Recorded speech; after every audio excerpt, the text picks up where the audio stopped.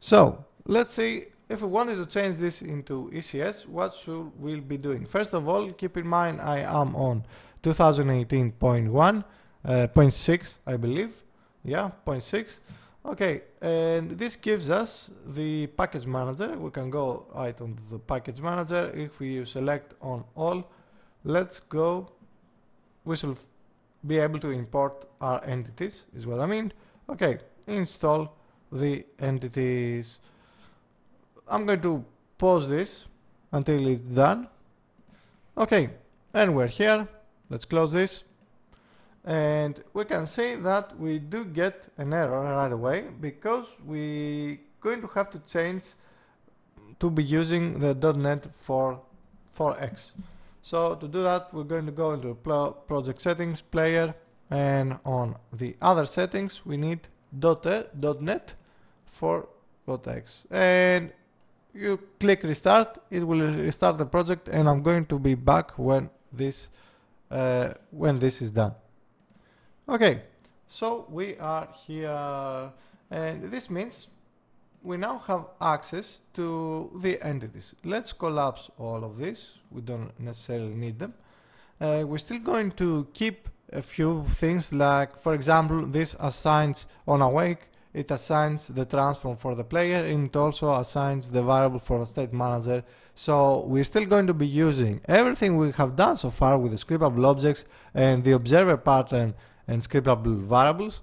Okay, but just basically change the way the states and the actions run inside the state manager. So because we imported the entities, uh, the entities package, we can just go over here and assign a game object entity. And when we hit play, it's going to show us how many systems this entity is affected by. But because we have already built the entire thing, we're not going to delete it. Well, at least not yet. We're not going to delete everything we have done so far just to be using the ECS. That wouldn't really. Uh, well, we could do that, but yeah, I say why bother. So we're going to make a hybrid uh, with ECS and uh, well, you know, mono behaviors, but we're also go, going to do a cross hybrid with uh, the ECS, the mono behavior, and the scriptable objects behaviors we have already done. So now we have like even more hybrid things. But yeah, you will see that the work we're going to have to do will be really minimal. So for now, let's just assign the game object entity and let's go write a system that will give us access to the state manager.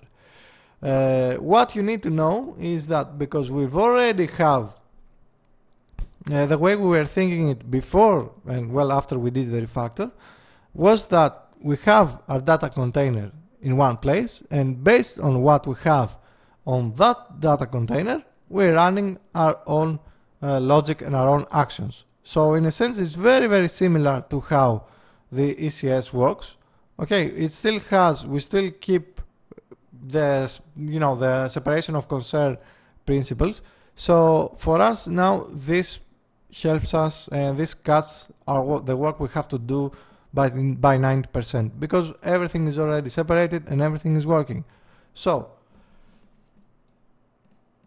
if we go into our script, let's create a new folder. Let's call it systems. And I'm going to go and assign a new, well, create a new system, which I'm going to call update, update states system. Okay, open it up, open up Visual Studio. Uh, let's pause till this is open. Okay, and we're here. We don't need the boilerplate stuff. And we can use, because we have included the entities, we can use the namespace for entities, which means we can also include the component system. And this will give you an error that you have to implement the abstract class. So we have the on update, and this is very, very similar to what we are, um, yeah, to basically all the other components you are using with mono behavior, but with this you can also filter, you can even disable which systems you want to be running or not. Okay, so delete this and because of the way we actually have done everything so far, we can just simply create a struct, let's call it data, or states, or state managers, I guess, whatever. So let's just call it data, so we're keeping it short. In here, inside our struct, we're going to say, and we're going to apply uh, the, we do have the namespace, so we're going to have to first assign the state manager, and let's just call it states. Okay, then inside update, this might not seem too much, uh, you know, this might not seem a lot of uh, optimized, but keep in mind that the whole point of using the ECS and all stuff like that is that then Unity can turn it into machine code into a much more optimized way. And instead of having all your references wherever in your memory, it's going to keep them all struct into and place them into, you know, into basically it's going to place them in order so it can access them much, much more faster than having to find them from different places in memory. So for each variable, we can just say the entity, get entities, and we want to have entities that have the data struct we have above, and this should be done over here. Okay, don't confuse it with any other call, for example, find game objects and stuff like that. It's much more optimized than all of that. So let's just keep it like this. Okay, so we have our entities, which means this will get us any entity that in our case has the state manager inside. So it means we can just say e.states and we can access any variable we want over here. We don't want any of those variables, however. So let's go open up our, our assets, let's go into our scripts and let's go into our state manager and we don't want the start anymore. We can access the init. So I'm going to cut this and paste this down here. And because we're not really going to be running the start, I'm going to delete this. Well, let's just comment it out. And let's delete those two. Okay, so we have our init. Then, instead of having a different fixed update and an update, and I'm going to simply just keep the update for now, and we, if we have problems, we're going to revert back to and see what we're going to do about fixed update, but I'm simply going to comment out the fixed update and change this from public void to update to public void tick and I'm going to also pass the delta time which means we can just simply do d over here. Okay. So that's pretty much it. Back to our update actions, we can say e.states.tick and you can pass the time.delta time. But because this will be running all the state managers for all our states, and delta time is something universal, so you can just say delta time dot delta time. And just pass this over here. So this will basically run any state manager that it finds, it will run the tick. The state managers are something for us, it's something that holds states, and the states themselves hold actions. Okay, this means whether we have enemies, either we have players, either we have multiplayer players, or we, either we have clients. Okay, it still doesn't really affect anything else we were doing we're still under the same we still use the same principles we still use the same design patterns we still use everything we have just done the only thing that changed was that instead of using mono behavior to update uh, to run the update and fixed update and so on we're now using the entity component system. Okay we just made a system that updates our state manager and just does the tick.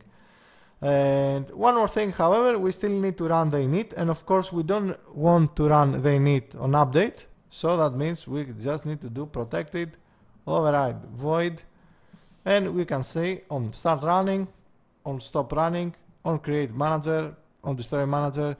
We don't actually need to even touch the manager at this point. So we're doing only very few things with it. So on start running, again, same thing. And Entities, data, and instead of the tick, we can just say e dot uh, states dot init and that's it.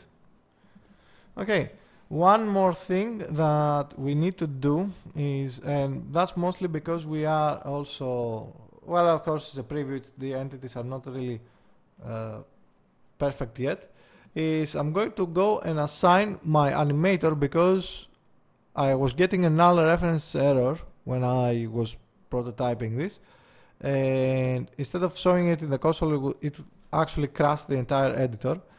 So I want to avoid that obviously which means I'm just going to hide this and I'm going to go and drag and drop my animator down on the controller. Okay minimize that. And drag and drop the animator down here. Okay clear.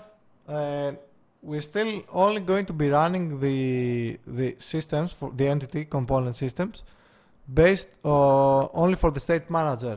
We're going to have to write one more and maybe do a lot more systems uh, for for running the mono actions we were using before. Okay so just keep that in mind. We're still hybrid and we are currently yeah cross hybrid or multi hybrid whatever you want to call that? But everything works fine. Uh, I'm going to close this guy though because he might have a few references that are going to confuse us right now. And on the controller though however you will see because we don't have either start or uh, update or fixed update it keeps everything. It's you basically can enable or disable it. It just has it as a component that sits there and does nothing else. Okay so hit play. And you will see that if we open this over here we see that there is a state uh, there is a system that actually uses the state manager we have over here. And everything else works exactly as we had it before but it now uses a component system to update uh, all our different actions I'm with a mouse so it goes a little bit weird over here. But as you can see everything works exactly as before. A pro to this is that if we go onto our behavior editor we did you will see that it actually also we don't have to change anything else it also works with a behavior editor which is really really cool. Okay and that is of course if we're creating from all of this we're still not really uh, we're not getting the entire advantages we can get from the, from ECS yet. Okay so it will need a few more changes in the long run. But for now either you decide you want to keep the ECS or you want to keep working the same way we were doing it before this uh, I'm going to leave it entirely up to you. I haven't decided yet uh, which one I'm going to do. I'm leaning towards keeping it on the um, you know on the regular thing we were doing it on mono behavior rather than uh, on ECS for now at least for this series because we have done so much. But because we've seen that we don't really have to to change a lot so we did it under less than five minutes. Of course this video is a little bit longer than that because I had to explain all of this. Okay and yeah I'm not really going to worry that much about uh, keeping it with ECS later when it's out of the preview packages and there is a few more things uh, to do with all of that I'm going to to switch it to ECS and do any changes we have to do. So for now we can keep still working on all of these all of these things. Okay, so here's one more thing. Uh, keep in mind that we still have everything that has to do with uh, the actions or the mono actions we are doing. We can close this actually. Uh, everything that has to do with them, you can obviously change them into and make their own entity component system so they will run their own actions and do all of these things. Okay, I have another series that is much more, uh, yeah, that well, that we basically need ECS to to do over there. Otherwise, we wouldn't have any more. Uh, we, yeah, we wouldn't really have any any performance if we were doing it without ECS. Okay, so yeah, don't worry. We're going to cover ECS uh, a lot, just on another series, a lot more in depth that I'm going to do in the Souls like series, at least until it's uh, until they are out of the preview package. But yeah, I have a lot of things planned and in store for for all the features we actually have in Unity. So let's finish with this part. Again, decide if you want to follow, if you want to keep the way we update with ECS or mono behavior. I think I'm going to lean towards uh, mono behavior for now for this series.